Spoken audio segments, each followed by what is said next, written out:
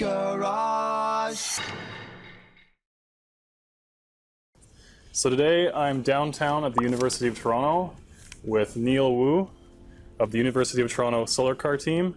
So Neil, first off here, what is the Solar Car Challenge? So we here are a group of students with the University of Toronto, and we essentially build a car, a solar car, every two years to mm-hmm. participate in a race in Australia. Okay, and you're all undergraduates. Yes, we're all undergraduate students. Are you all engineers? Uh, most of us are. We have one or two students that are from the RSI. Okay. And so obviously this is a solar car, there's lots of aerodynamic design that goes into it. Um, what are the specific challenges for this type of design? So the biggest thing with this type of design is that you have very little power input to play with. Okay. Uh, because it's a solar car, we have to use solar energy, and uh, the current solar cells are only about 23, 24% efficient. okay. So in the end, with the solar car, we get maybe 1.2, 1.3 kilowatts to play with Okay. for total power consumption. okay. Uh, keep in mind, this is equivalent to a power of a toaster or a hairdryer, and we you have to drive across a continent with this power. and so you're only allowed solar power, you can't refill your battery Exactly. at your stations. Or, okay, interesting.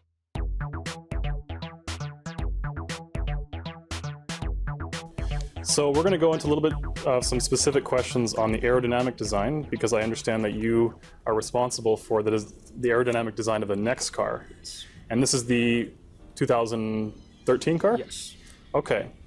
So to begin with here, uh, what types of tools do you use to design the car?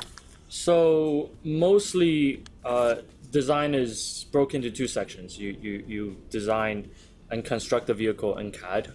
Okay. Uh, with the computer program, we use CATIA. Okay. And after you do that, you will have to validate your design. And because of our limited budget, we, will, we use CFD for, for all of our design validation.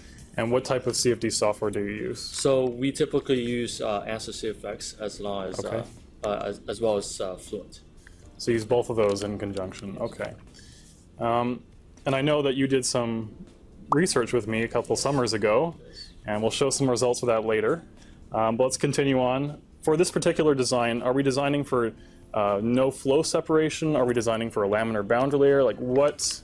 What sort of like the, the challenges here? So, so first of all, because you want to go with a vehicle with minimal drag, Mm-hmm. uh, you will want to reduce flow separation at all possible. okay. So basically, you're going for for a very streamlined geometry that has very little pressure drag. okay. And on top of that, you would want to have a geometry that would promote laminar boundary layer for as far as possible.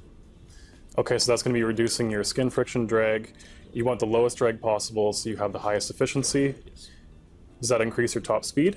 Yes, it certainly does. And uh, the laminar versus turbulent boundary layer actually Mm-hmm. plays a huge role in our design, uh, which is why a lot of our efforts in CFD are focused on predicting as well as trying to extend this uh, laminar Okay. boundary layer. Now, I know that we talked about drag a little bit. What about lift? This some people might think that this is just a big wing on wheels. So is lift a, a key issue? How do you design for that? Uh, so the the thing with the uh, in terms of lift is that we want a car that is stable. Uh, so what we do is we actually design for neutral lift. So under Okay. typical cruising conditions, you have the there's no aerodynamic forces in the vertical direction. Does that counteract the gravity of the car, like the weight of the car? No, or no, it, it purely it, it means that the the car exerts no aerodynamic forces. Uh, Okay. now with, with a ground vehicle, the difference between ground vehicles and airplanes is that uh, because it's near the ground, Mm-hmm. if you have an airfoil near the ground, it actually produces a downforce. Mm-hmm. Uh, so in order to counter that, you produces lift in the sense that if you test this vehicle w- without putting it near the ground, they will produce some amount of lift. so just like a wing? Yes. But because it's near the ground, that sort of cancels out, Exactly. and we get a neutral uh, Yes. condition. Yes. Interesting. Okay. So as I mentioned, we did some experiments, you and I, a couple summers ago, and one of the key things that we found was on the driver canopy here, we had some flow separation near the back, just because of the of this particular shape. Um, are we, or are you, going to be changing this design to try and combat that finding? Exactly. So uh, one of the major focus of the design was, as I said earlier, to eliminate any flow separation. Okay. So because we knew from this design that there was flow separation from the back, what I did was essentially extend the canopy for a little bit longer and uh, design the curvature such that uh, there will be no flow separation. Okay, so basically you took this canopy and stretched it out in the streamwise direction a little bit more to try and prevent that flow separation. Interesting. Okay. What is the most challenging area of this car? So this car has canopy, it has fairings for the wheels. What's the most challenging area to design for aerodynamics? Uh, so the most challenging part is probably the junction between the wheel fairings and the main rear body. Okay. Uh, and, and it's because uh, in junction flow, there's a lot of vortices that pr- gets produced. Unless you you design the shape properly, uh, that's going to trip your boundary layer. So like a fairing or something or a Yes, so so you need to blend all your surfaces Okay. such that their curvature continues, uh, so you do not get these vortices. When we went to the wind tunnel for testing, we noticed there was some separation over here as well. In addition to the to the canopy, we, we had flow separation essentially with air coming in from here and separating around this point and reattaching somewhere. because these these fairings are actually two separate fairings, Yes. not one continuous fairing. So you had flow separation the the rear of the front fairing Yeah. So so this entire region here was, was, was a big recirculating hole on both sides. Y- on both sides. Wow, it's a large drag source. Drag and lift is one thing. Um, what about stability? Because I know you're you're in Australia. Is that correct? Yeah. You have some crosswinds. You have some turbulence in the atmosphere. What about stability for this kind of car? So yeah, stability is cer- certainly a, a major issue. Mm-hmm. Uh, from the last race, we've seen uh, significant crosswind uh, on, on some days, Okay. uh, and there are cars which which were in oversteer condition that were basically Okay. zigzagging as they were driving because uh, they're Were they constantly having to correct Yes. themselves? Oh, So there was a lot of okay. uh, pressure on the driver to, to react properly. Yeah. And that also produces a lot of uh, extra rolling resistance on the Mm-hmm. tires. okay. So certainly, uh, one way to combat this Mm-hmm. would be to ensure that you know the center of pressure and the center of gravity are in the correct position. So Yeah. uh, your vehicle stable. Okay. And the other way to combat this is either make the car a little bit heavier or produce some downforce Mm-hmm. Okay. so that you have more traction.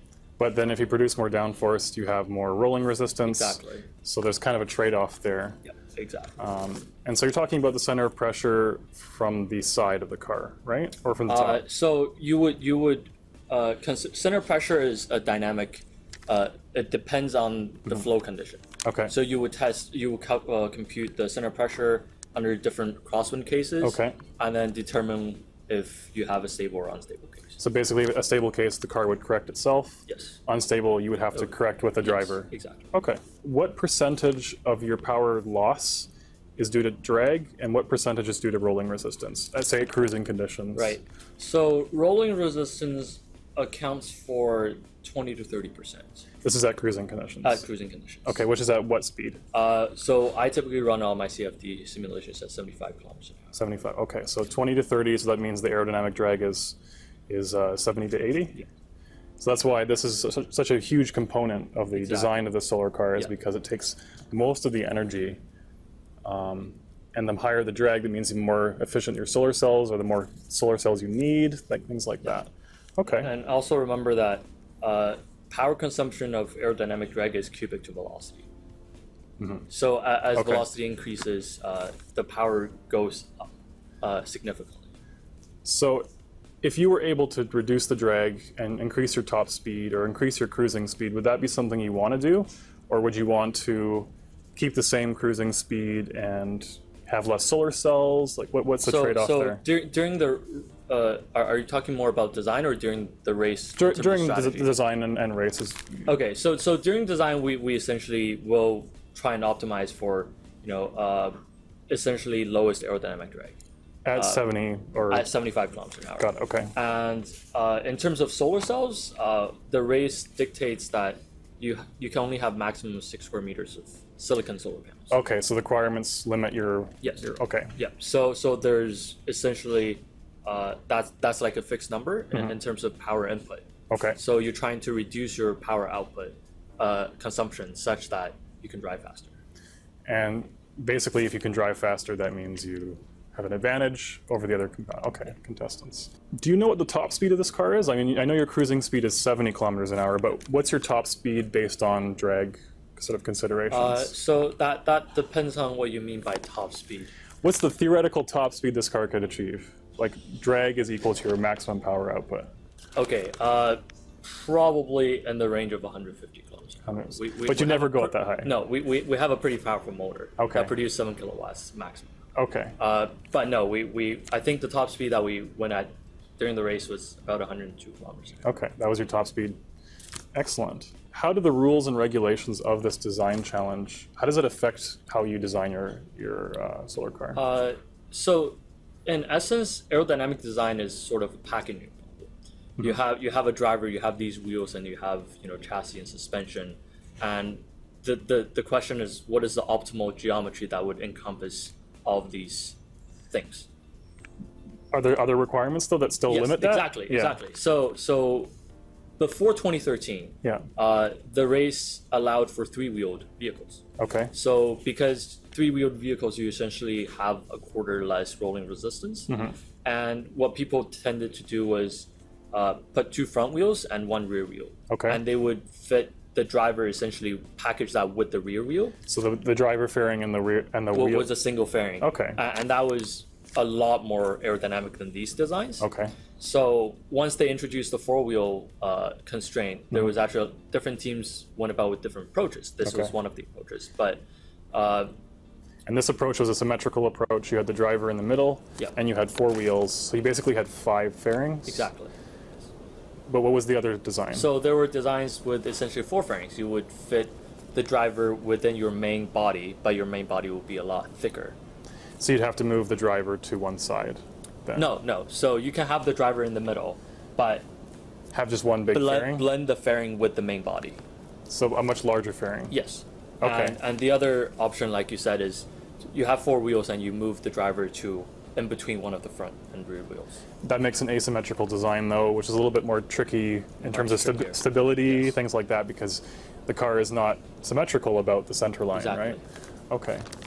Um, interesting. So yeah, th- those are the kind of regulation changes that they, I guess they make to try and promote new designs. Is that So- kind of what the reason is? Part of the reason is that because designs have been stagnating for some years, Mm-hmm. and the other thing is they're trying to push for solar cars that are a lot more practical. Okay. So they enforced four-wheel drive, uh, four wheels, and they enforced uh, essentially a more stringent vision requirement and safety requirement. Okay. Uh, which of course will will have drag penalties, but they're trying Yeah. to make cars that are much more practical.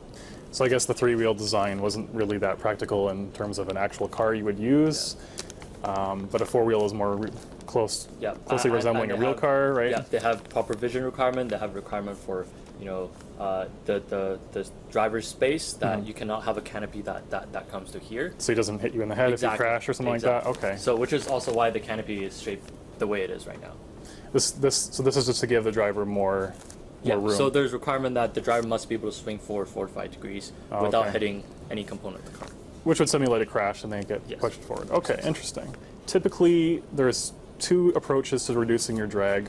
One is to make a more efficient shape, which is reducing your coefficient of drag, and the other one is to either reduce your cross-sectional area or I guess your wetted surface area here. Can you comment on what kind of approach you're taking for the next design? So this is very interesting question. Um, you you of course would the the two sort of work together, um, but the problem with reducing your wetted area is that you you must provide enough surface area so that you can fit six square meters of solar panels. yeah, because this this whole top here is basically it just solid, completely covered. except for the driver canopy. Yeah. got it. Okay. So so because of that constraint, uh, you you you have to work with what is given. yes. But on the same hand, uh, uh, at, the, at the same time, the competition also allows the use of uh, what's called um, uh, gallium arsenide solar panels. Okay. wh- which operate at, at, at 30 plus percent efficient efficiency. Okay. But they only allow you to have three square meters of those panels.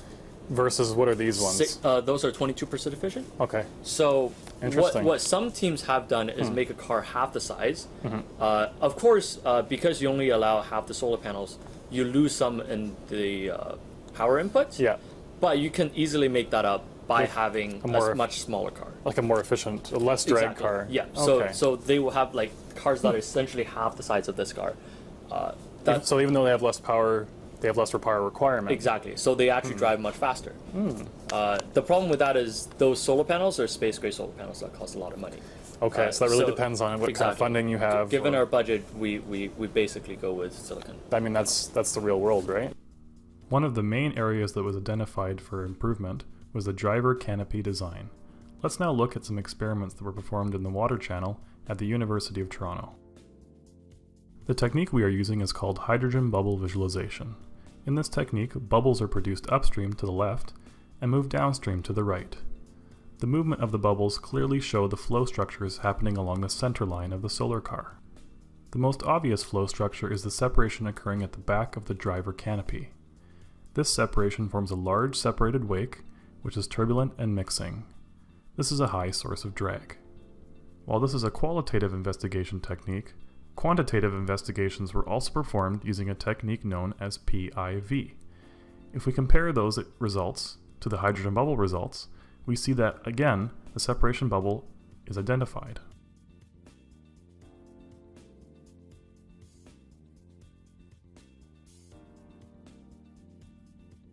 If we zoom into the driver canopy region, we can see this more clearly. The separation is occurring at the back of the driver canopy, and this is forming recirculating flow. We can see the separated area along the side of the driver canopy as well.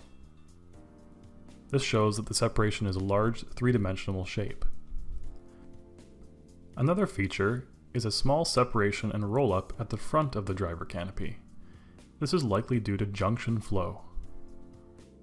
One of the main tools used by the solar car team is CFD. Let's see how this compares to the experiments. We are now looking at the solar car from a bird's eye view. And we have a wire on the surface of the solar car producing hydrogen bubbles. We can see the movement of the bubbles and the shape that they make. If we now compare the experimental findings to that from the CFD results, we can see that similar behaviors are found. The shape of the streamlines in the experiment and the CFD result are very similar. And in both cases, the large separated wake behind the driver canopy is identified. This gives us high confidence in the CFD results. Let's take one last look at the experimental results, although now we have a pulsed hydrogen bubble sheet. This clearly shows the movement of the bubbles along the surface of the car. And we see that large separated wake behind the driver canopy. Again, these behavior of the streamlines is very similar to the CFD results. So what we've seen so far is that the design of the driver canopy is very important. But how does this design affect other systems on the solar car? I talked to Neil about the fillet edge radius of the driver canopy for more information. So the canopy, uh, We already talked about the back with the separation, but what about you were saying something about the fillet radius here? so yeah, so in order to blend the canopy with, with the rest of the air body properly, you, you have to apply these fillets on the sides all the way around. Um, they're, they're, they're not only for, for head-on flow, but also in crosswind cases, you don't want uh, essentially a very sharp junction. okay. Um, but but there, there comes a trade-off where if you make this too large, then, then you essentially decrease the total area for solar panels that, that you have available. Because I can see yeah, your solar panels only go up to a certain. Yeah. So so so there there's a line here, which is the end of the fillet, and the solar panels basically cannot go past that line. So if you made the fillet larger, you would you'd sort of push this out. Yeah, and then you you lose some cells here around the canopy. Okay.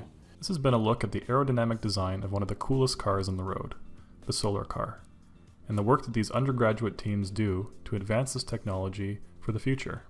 What we have seen is that the design is not easy. It takes both experimental investigations, CFD simulations, and a lot of hard work to come up with a design that both satisfies the requirements of the challenge as well as beats other competitors in the challenge. What we have also seen is that the design is iterative. There are always some areas that need improvement. And this is true for all automotive aerodynamics. I hope you've enjoyed this as much as I have, and I'd like to take this moment to thank the University of Toronto Solar Car team, and in particular Neil, for giving me access and answering my questions.